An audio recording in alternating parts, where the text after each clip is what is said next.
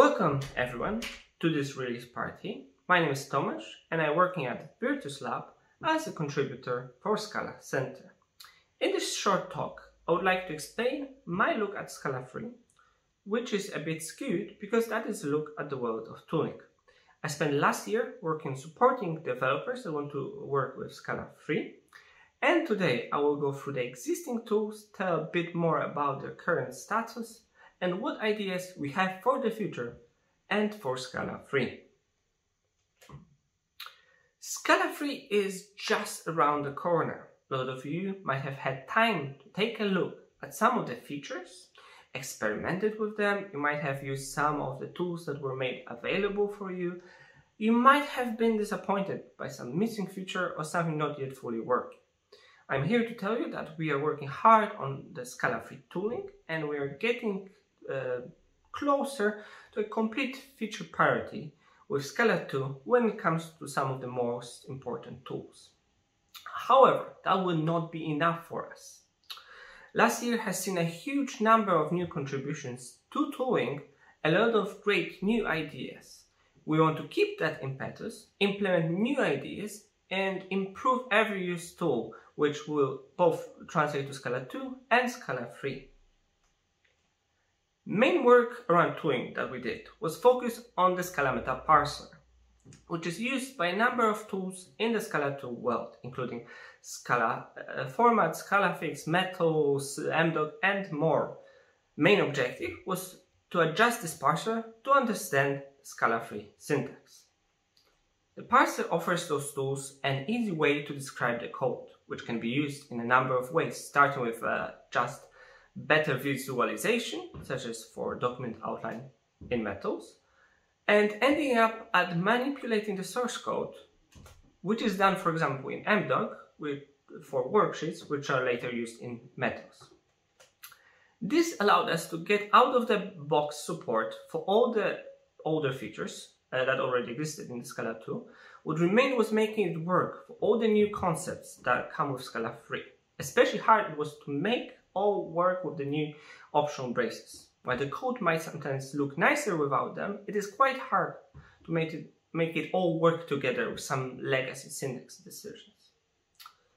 But I am happy to report that we are able to currently parse the entire Dotty codebase, which is one of the more complex that currently exist. One of the most anticipated tools to have for Scala 3 is Scala Format which is an automatic formatter for Scala 3 widely used by the community. You can see an example on the slide. Making it available for Scala 3 was meant to be essential for many teams to be able to migrate to the new language version. I'm happy to say that this month uh, this has finally been done and you can test it out on your codebase already. The only thing that you need to do is to change the Scala format version to the newest one and set the dialect to Scala 3. You can also change the indentation from the default 2, which might be especially needed in case of optional braces.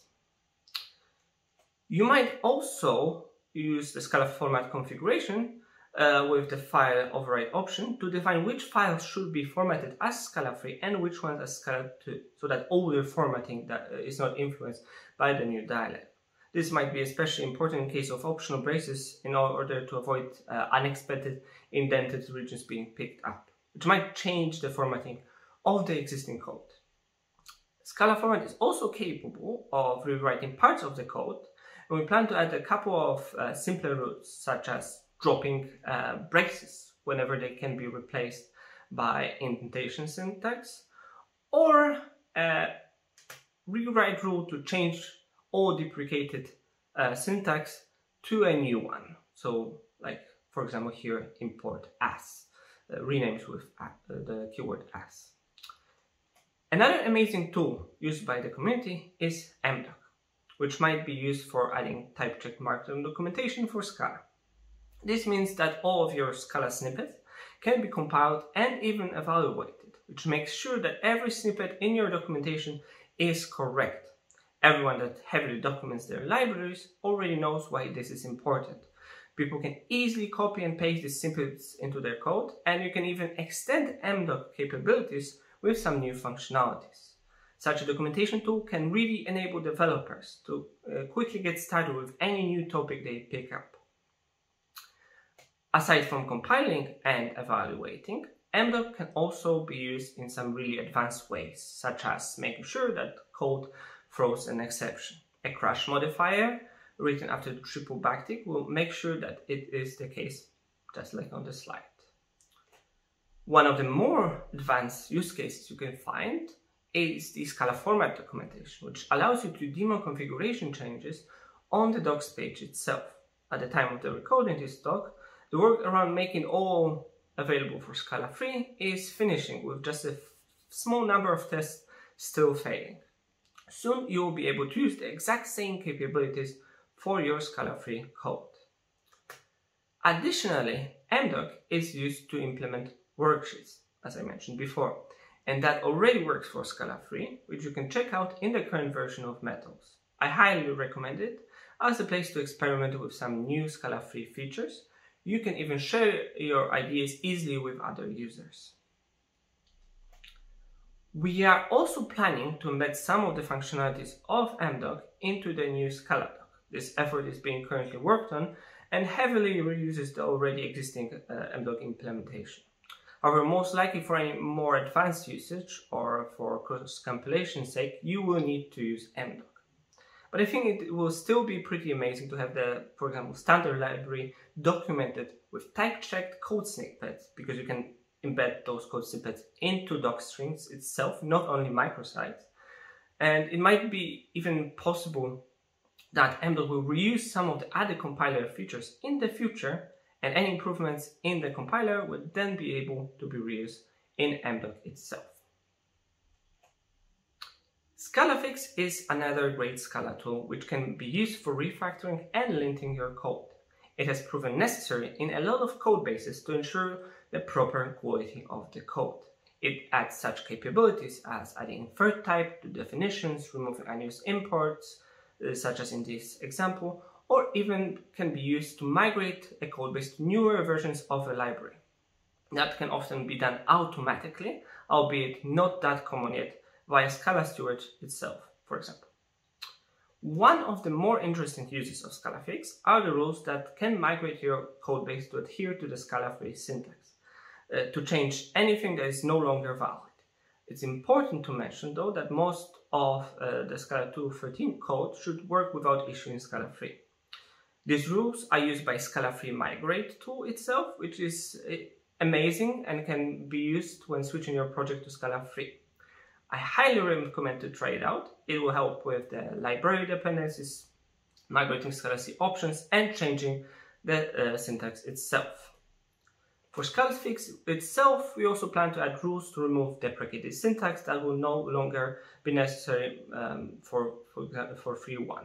Unfortunately, ScalaFix does not yet support Scala 3, but most important components are in place and we'll work on this this year.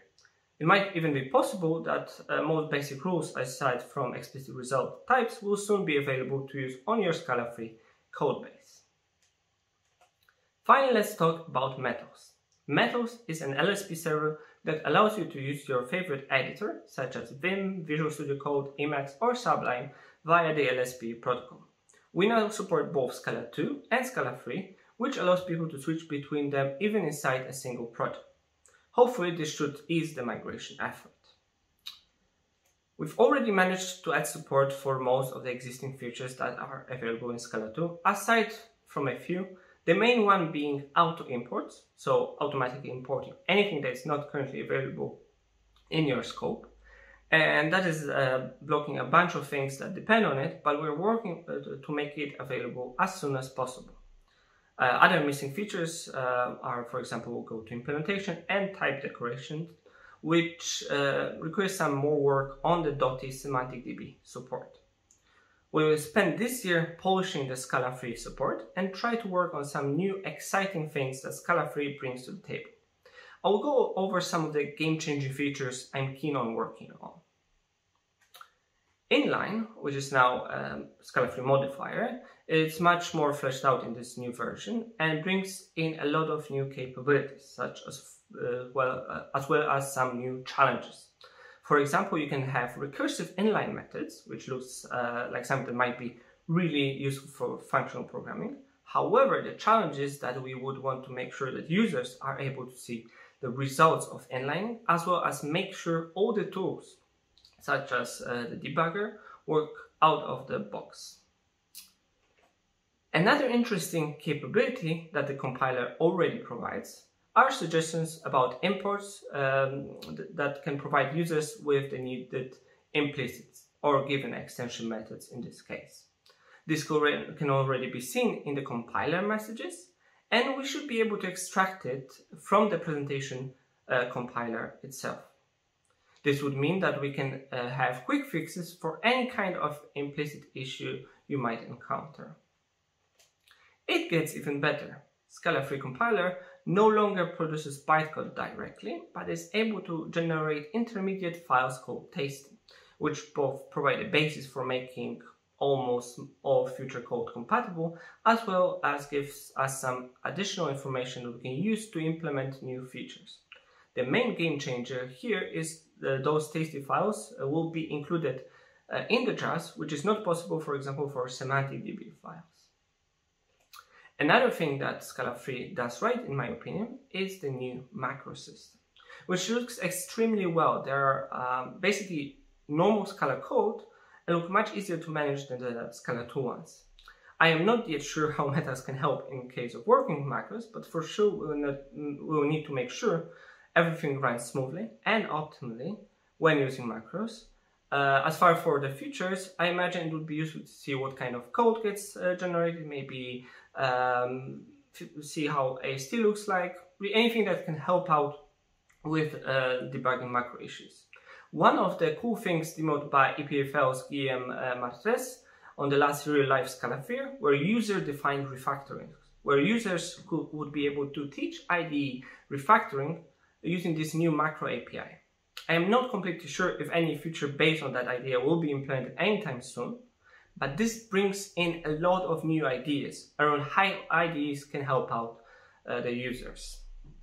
For those of you using Scala.js, you might be happy to hear that it's working with Scala 3. Uh, it reuses most of the existing code, such as the linker, uh, thanks to which it was only implemented in three months. There might be some uh, bugs show up when code bases migrate to Scala 3, but as for, uh, for today, there are no larger outstanding issues. The work on making Scala native, an equal partner to both JS and JVM platforms, has been recently ramping up. There was a recently released 0.40 version, which added support for the newest Scala version 2.12 and 2.13, which is a huge step forward Unfortunately, it's not yet available for Scala 3, but do not despair, it's in the plans. There's still some work left to do to enable Scala uh, native on Windows. There's also uh, proper uh, multi-threading um, work to be done. However, the next step after those will be implementing native for Scala 3. The challenge should not be impossible since there all, was a lot of work already done for Scala.js and native reuse some of the same infrastructure. We should also be able to reuse a lot of the existing code, most prominently the linker and the optimizer. If you have any questions about it, please do send them my way. I can try to get some answers for you from the Scala Native team. In the end, I wanted to assure you all, do not be afraid. We've got you covered. We will strive to improve all possible tooling and try to add as many new and interesting features as possible do not hesitate to reach out. We're happy to hear ideas or problems uh, you might be facing. I cannot promise we'll take care of them right away, but we'll try to do our best to make the tooling seamless and a pleasure to use. Now a question to Martin. What new tooling feature would you love to see implemented when it comes to Scala 3, but that did not exist in Scala 2? So basically, what will those new exciting features need in terms of tooling. I'm especially interested in that because that will give me some idea on uh, what to work on, uh, on what to improve and make better for the existing tooling ecosystem. Thank you for listening to my talk. Um, I hope we'll hear something interesting during the Q&A. And as always, uh, report any issues you encounter in any of the tooling I explained. I'll try to uh, help out, uh, maybe not all the tools, but most of them. And yeah, it was very nice to be able to speak to you and I hope you'll be able to use Scala 3 soon and have loads of fun with it. Thank you very much.